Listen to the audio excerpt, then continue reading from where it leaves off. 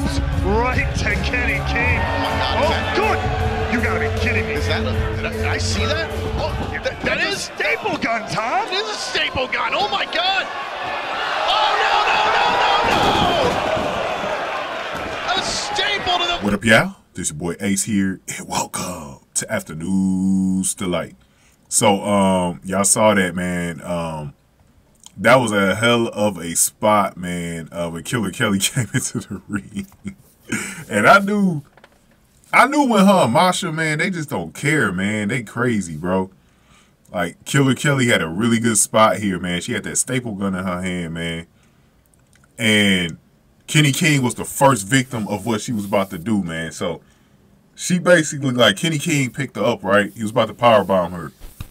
And she used the staple gun on King's head, man. And she got some bro, and then, and then right after that, Kelly slipped away from a Moose power bomb attempt and used a staple gun on his crouch.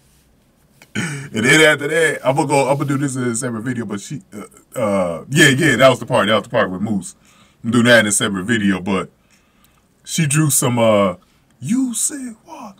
You said what? Chance, bro. I was like, man, that was amazing, bro. I was like, that was amazing. Kill- Killer Kelly was smiling too, man. I was like, that's what we need, man. You gotta look crazy in that ring, bro. Yeah, that's when Masha Slamovich, she came out uh, for Team Bully, and then those two got the squaring off.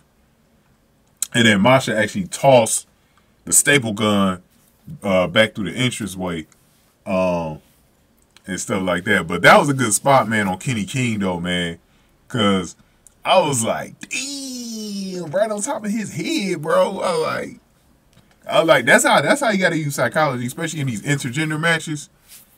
Gotta use that gotta use that psychology, bro, to give the woman a chance to get out of stuff, man.